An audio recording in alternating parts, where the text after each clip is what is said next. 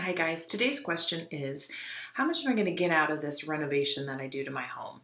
So, really, what we're saying here is if you make this improvement, are you going to get back out exactly everything you put in? Sometimes the answer is yes, you will, but sometimes the answer is no, you won't. So, you want to make sure you're thinking through any money that you're putting into your home, especially if you're looking at selling it in the next few years.